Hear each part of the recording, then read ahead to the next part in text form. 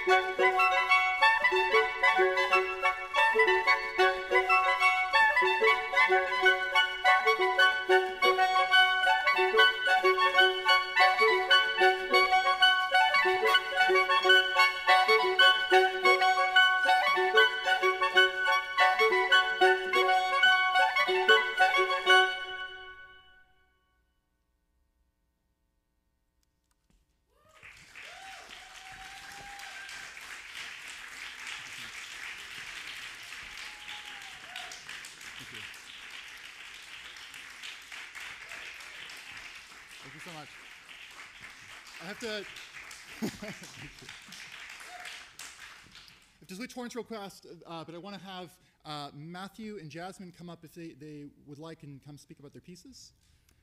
They here? Jasmine, Mathew. come on up, come on up.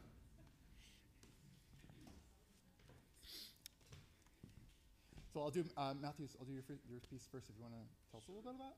Say something about Yeah, please. Okay, I can try to say something about it. Totally unprepared, but um, uh, well, this is a pre-pandemic piece, which I think means something for a lot of composers. Uh, just like, I guess, I mean, it wasn't easy to write. It was very difficult to figure out what the identity of the piece was because it's so different than the. Uh, for those of you who know what my music sounds like, it's like it's like an anomaly in the pieces that I've written because it's most of my music is like very aggressive and intense and I don't know, fast paced and, and this piece is like everything like the opposite of that, you know? Uh, so very subtle gradations. Um, I, I have written for saxophone a lot in quartet settings, but I use like really abrasive multiphonics.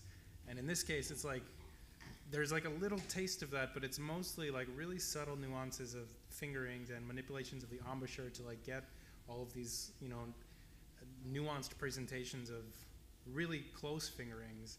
And so that's why it was so hard to write because I had this instinct to, to do what I always do, which is like find this way to like make this as loud as humanly possible. But I had to like go the opposite direction. And so it was, it was sort of like, uh, like, I don't know. I was gonna make an Avatar: The Last Airbender. But it's like Aang struggles to be, be like an Earthbender because it's like against his nature, and so this was like my Earthbending piece. Nothing to do with that, but anyway. Leave it Thank you so much. Tom. Uh,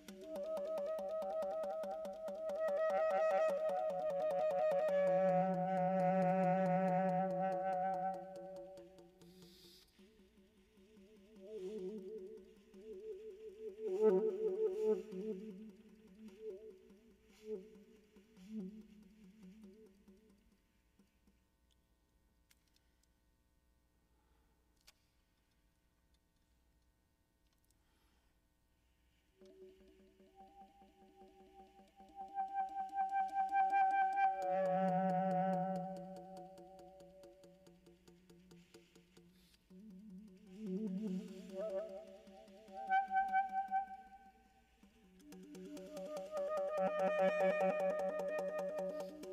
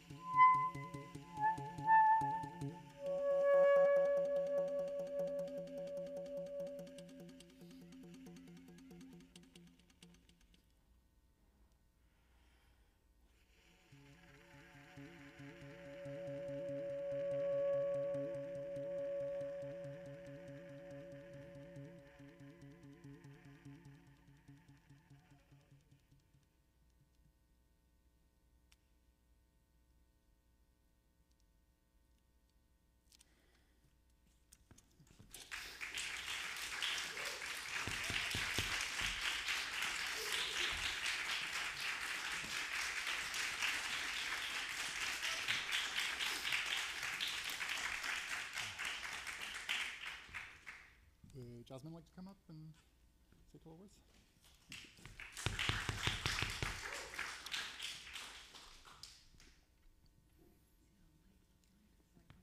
Yeah, right. Welcome to it. So Switchboard started out being about two sounds and how they were different and how they could become more similar. It ended up being about streams of things um, breath, fingerings, voicing, tonguing, all these streams of things that are happening and how they can cooperate or how they can compete, um, mask one another. Uh, and so this piece is kind of about that. It's about the two things and it's also about what they're made up of and the ways that their similarities and differences can kind of like conflict and affect one another. So these objects are constantly transforming and trying to approach one another, but still kind of being forced to maintain their separate identities throughout. Awesome. Thank you.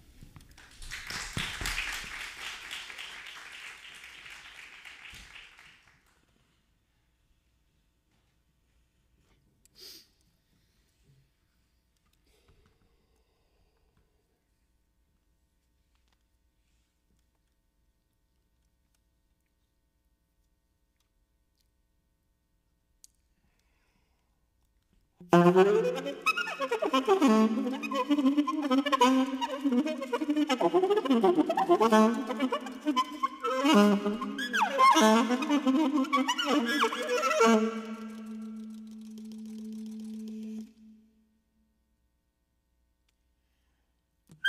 don't know.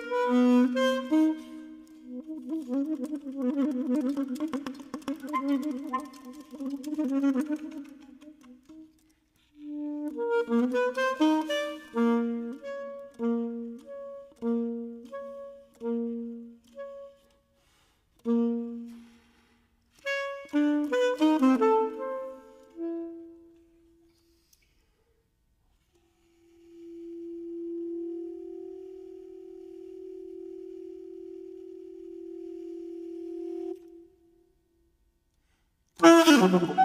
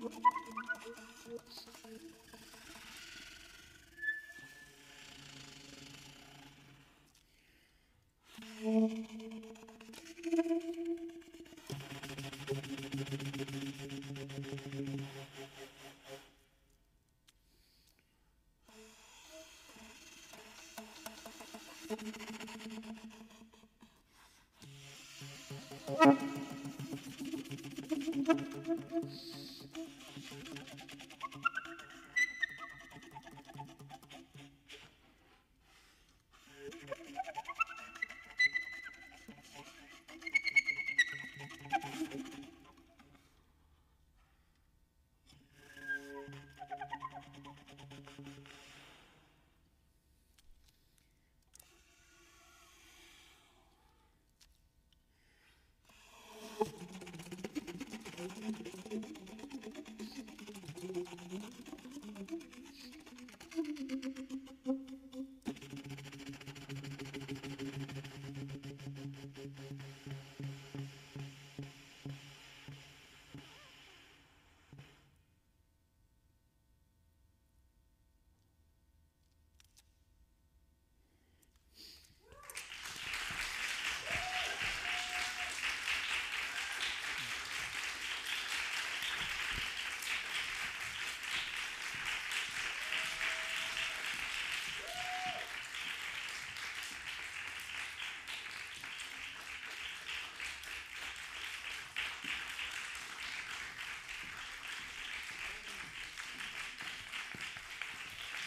Jasmine? Hey.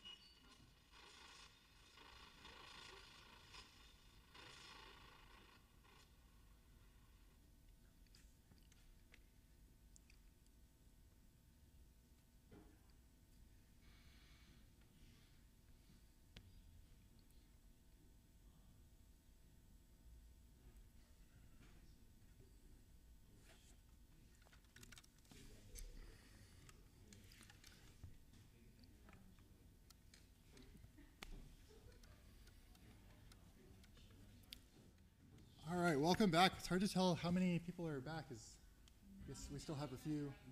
Okay, great. Okay. we'll do it.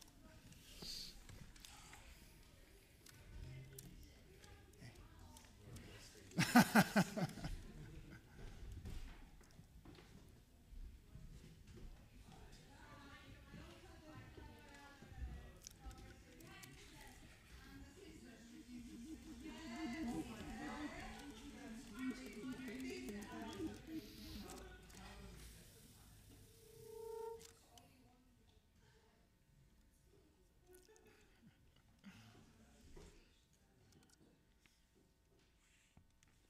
guess we're back. Okay, so uh, we have uh, the second half of the program, large solo piece by Cole Bluin from New York. Uh, asked Cole to say a few words, but before that, since this is the final piece, uh, I just want to say thanks again for, for coming out. Thanks to Constellation. Thanks to uh, Peter and Margaret. Thank you to Niki, uh, who has been very helpful over the last year as we've started to organize this. And of course, thank you to the composers that, that wrote for this. So it means a lot to me to, to be here, to be able to play for you. So uh, please hang out. I would love to say hello and meet a lot of you that are here. So uh, without further ado, uh, Cole Bluin to introduce the piece.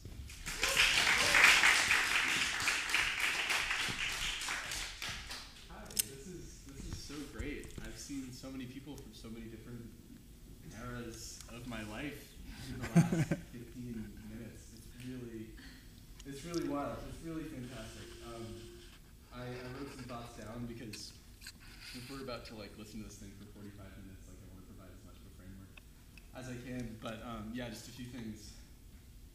First, I mean like Thomas, like thank you for making this piece happen. Um, I know Thomas.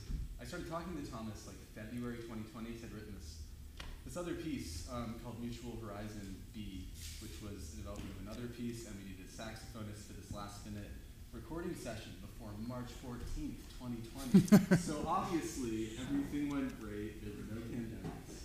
Um, no, just kidding. But we got that piece played later. So that's how I got in touch with Thomas.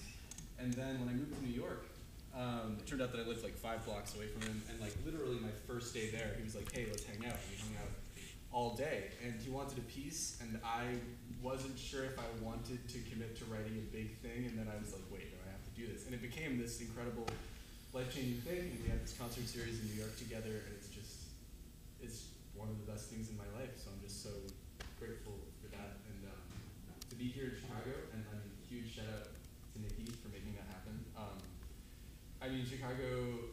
I, I promise I won't talk too long here. The Chicago music scene, in so many ways, has been so important to me for such a long time. I mean, particularly the AACM in the '60s, and like, I mean, people like Roscoe Mitchell's experimentation with silence and sound on the saxophone. So like, you'll notice, you know, like it's cool that this is happening in Chicago, and then also some stuff in the '90s. I mean, Jim O'Rourke, uh, Tortoise, Gastr del Sol, all kinds of other things, which I mean also have been very influential. I was listening to a lot of that stuff in the pandemic while writing this piece. This piece definitely uh, is kind of a pandemic brain thing. I was working at a coffee shop, and then that work stopped happening, and I was getting unemployment. And when I moved to New York, I was in this room where all the walls were green. When I took a picture of myself, I looked green. So I'm in this green room, drinking all this coffee with like the world's best saxophone player five blocks away, and watching a lot of like art films and reading a lot of books.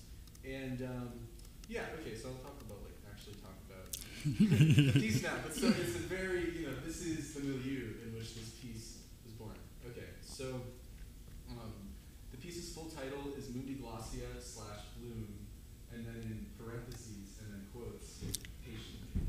Um, all these words can help unpack what's going on. Starting off with the word mundi glossia, which is a made-up word um, that combines the Latin mundi for world and glossia for speech. So the speech of worlds, or the speaking of worlds. Um, one thing that this means is that uh, materials which in you know in contemporary music are not always heard in the same places or are not always thought of as being part of similar aesthetic worlds coexist because if you live in the world you just you encounter things. Um, so um, yeah, but all these things I was interested in, and they do take place in the piece, and they don't argue, and they all just coexist.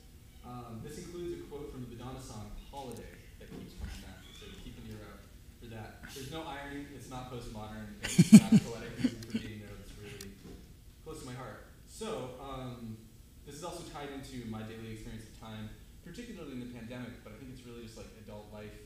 You're in a room. You do these things that are sometimes tedious and sometimes they're really dense. And sometimes you're waiting in line. And sometimes you're running. And sometimes you're cooking. You know. Um, and life, you know, it repeats. Um, but there's also maybe beauty in this mundanity. Um, so that's the first half of the piece. Um, the word bloom comes up kind of in refer- reference to three things. The first of which is that the form of the piece blooms outward. It's a sort of spiral. And um, really, the spiral traces across all these different materials which grow in time. And some of them develop, and some of them refuse to develop, and some of them start to like spawn variations. So there's this question of like watching time pass in adulthood and watching all these different things, all these different seeds that have been sown, growing in different ways and returning. Um, so there's Bloom in the form. There's also Bloom, which is a reference to Leopold Bloom, who's one of the protagonists of Ulysses, which I'll, I won't talk about. and then lastly, there's Harold Bloom, who wrote a book called The Anxiety of Influence, and so much of this piece is about, I don't know, life and history. Um, so, um, yeah, the book Ulysses ends with like a 60 page monologue in run on sentence form by Leopold Bloom's wife, Molly Bloom, about a lot of things, including doubts in a relationship. Um, and it kind of tracks their whole life together. And in the book, she had been unfaithful to him like that day. And this is her thoughts as she's falling asleep. And it ends with her saying, Yes, yes, like I want to stay with this person. You know, even though life has put all these challenges in front of us. So then there's that word patiently. It's 45 minutes long. It's slow. okay, so um, yeah. So all I'll say about the second part of the piece, where the spiral leads, um, is that there really is a point of rupture where the rules that are set up in the first part of the piece are set aside in pretty much every way, and something else happens for a while. Um, I'll say that sometimes things, sometimes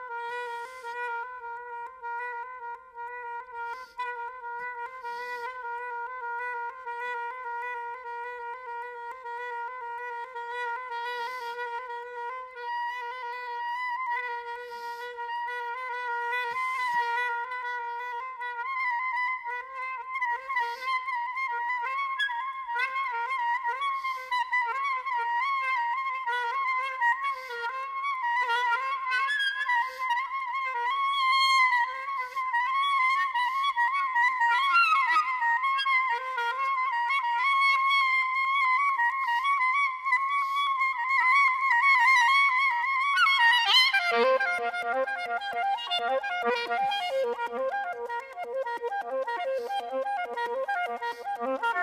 you.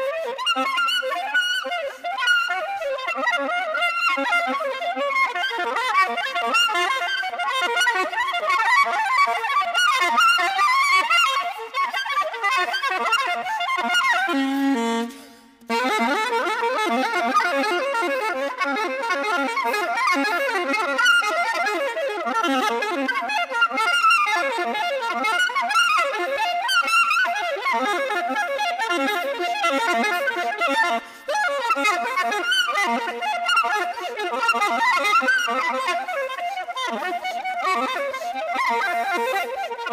you.